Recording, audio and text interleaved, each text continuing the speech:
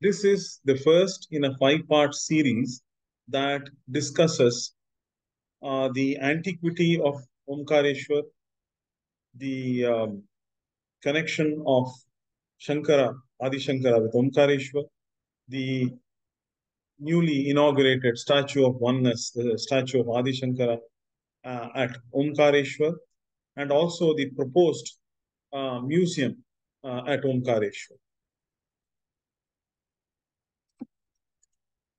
So first, uh, from the newspaper reports and uh, uh, what we see on uh, TV, uh, I understand that the Madhya Pradesh government has unveiled uh, a large 108 feet, feet, statue of Adi Shankara at Omkareshwar. And this is a fantastic achievement. It's a great endeavor. And um, the Madhya Pradesh government should be heartily applauded for uh, having initiated and completed this successfully. Now, words are really insufficient to complement the efforts of the Madhya Pradesh government, their team, and L&T, I think, uh, who have um, installed or constructed and installed the statue. Now, what is interesting is that the biographies tell us that Adi Shankara's mission began from Madhya Pradesh. Once he met his guru, Govinda Bhagavatpada, at Omkareshwar. And from there, Adi Shankara's activities emanated to the whole of the country, including in Madhya Pradesh. So I hope that we too can make uh, a difference by finding out about Adi Shankara, about his life, actually what he did, where he went, his times, how did those times look. And we hope we can begin this study in Madhya Pradesh. And the reason is because at the sound of, you know, at the risk of sounding hugely repetitive, I have said many times, we know almost nothing about Adi Shankara. Uh, and that is why we need to study uh, and learn and find out about him uh, through archaeological studies. First, let's look at how Adi Shankara looked and then connect it back to the statue of oneness at Omkareshwar. Now, if you notice, I mean, this is a contemporary statue uh, of Adi Shankara, and this is from the um, Shankaracharya University at the entrance to Shankaracharya University in Kaladi. Now, all the images that have been built until now have all been influenced by Raja Ravi Varma's depiction of Shankara together with his four disciples. So if you see the way the cloth is placed on his head, his facial features, his torso, the waist cloth which falls down, the uh, asana on which he sits, the way he carries the manuscript, etc. All of this, uh, and of course, the Rudraksha around his neck, slight deviation there. They all are influenced by Raja Ravi Varma's uh, paintings, which he made in the 19th uh, century. Um, no investigation, as far as I know, has been done regarding Adi Shankara's uh, actual appearance, how he actually looked before any of these statues were uh, were, were constructed. Now, when we look, uh, when during the recent field surveys in Kerala and especially in Tamil Nadu, several images and paintings of Adi Shankara murals, uh, you know, were, were discovered. And if you look at these images very carefully, um, Shankara has a, a boyish appearance irrespective of whether he is depicted at a young age or slightly later he has a, a, kind of a boyish or a childlike appearance. Uh, he appears to be, based on the images, there are images which where he is shown uh, standing as well, I think. Uh, let me come to that. From which we can see that he was uh, somewhat shorter than contemplated by Ravi Varma and possibly a bit stocky as well. He seems to have sported curly hair as noticed in the various uh, ancient images. These are images from uh, the 8th century uh, CE or 8th century AD onwards up to the Vijayanagar period.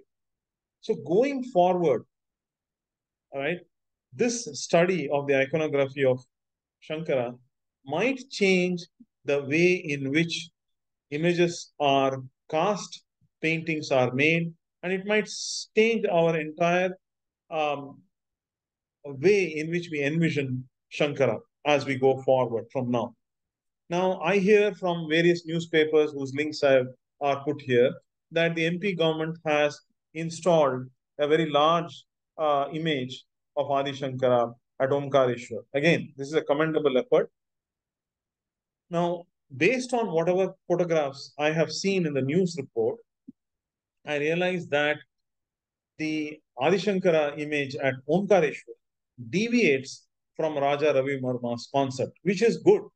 Okay, I think this is the first image where um, the the um, image deviates from Raja Ravi Varma's uh, concept of Shankara, and that is good.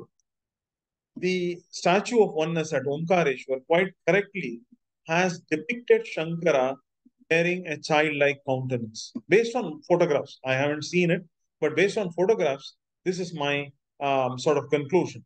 And those who have seen it may, may correct me if I'm wrong. Uh, the other thing they seem to have captured very well is his stocky appearance. Okay, obviously we didn't. I mean, I don't imply that you know Shankara was a you know very heavy set person, but he was stockier than how um, Ravi Varma has uh, painted. Ravi Varma is more sort of in a classical sense, uh, the way sculptures are made, Tribhanga. He seems to uh, try to sort of emanate that in uh, in in his in his painting of Shankara. But Shankara, I think, seemed to have been a little stockier, and this image uh, has um, has cap- captured it uh, from what the photographs show quite uh, well. Now, I would say, you know, congrats to the designer. You know, kudos to uh, the sculptor and the L&T engineering team for having executed this. I mean, it's a it's a it's a remarkable achievement, and I, they really should be commended. And I don't know who these people are. I don't know who the designer is, who the sculptor is, and who in the L&T team actually managed the uh, the the image, meaning the the form and shape of the image. And I really eager to connect with them to you know convey my congratulatory images, but more importantly, understand the mindset uh, that uh, sent them uh, to make the form uh, the way it is uh, it has come out. So that's good, and I really would like to connect with them if somebody can help me do that. Now, this image, though, again based on photographs, the the original image may be different. You know, it seems to deviate in a certain way also, and we should be aware of that. Now, what we see in early images is that Shankara sported a single vastra. That is that seems to be uh, what the my understanding is based on looking at all the ancient images. I went in and studied the uh, you know the various uh, shastras, you know, uh, Yati Dharma Samuchaya and also the uh, Matamnaya uh, and other other scriptures to understand what is the significance. Is there a necessity for the yatis to cover their head? And what it appears is that, I mean, again, somebody who's well, much well versed in Shastra can correct me. It appears that as long, that is, if a sannyasi is a uh, Paramahamsa, and Shankara certainly was uh, Parivrajaka, Parimaham, Paramahamsa Parivrajaka, uh, they don't need to apparently uh, cover their head. In the case of Paramahamsa specifically, they don't need to cover their head. Now, of course, I, I don't want to set off a controversy, but this is my limited understanding. And the iconography seen from the very early period suggests that Shankara did not sport a cloth over his head. Uh, there is one image that I'm still uh, waiting to photograph, actually study in photograph, uh, which may give me a much stronger confirmation about this. But uh, that is my impression. What I notice is that in, in images beyond the 17th century, this Uttariya, which is which is shown in Omkareshwar, the upper waist cloth, upper cloth, um, is noticed only after the 17th century. That is in let's say modern period images, and uh, in these in this respect, uh, you know here Shankara's you know upper cloth and actually even his his his uh, waist cloth almost seems like a tunic. right? And a tunic, uh, to, to state that again. And in that, I would say that it deviates from um, uh, the ancient images. Uh, that is in one respect. Uh, we should not, you know, make a big, uh, you know, mountain out of a molehill.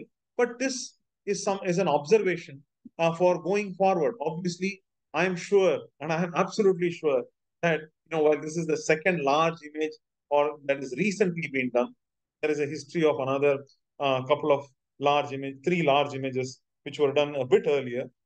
I am sure another couple more images of Shankara will come up, come up in the rest of the country. So as we go forward, uh, I think we should retain his uh, boyish image, a boyish countenance or boyish uh, appearance, and also ensure that you know when we build future images of paint, that we look at the the uh, tunic, rather the uh, waistcloth and the uttariya very carefully uh, in in in uh, future uh, images and future paintings.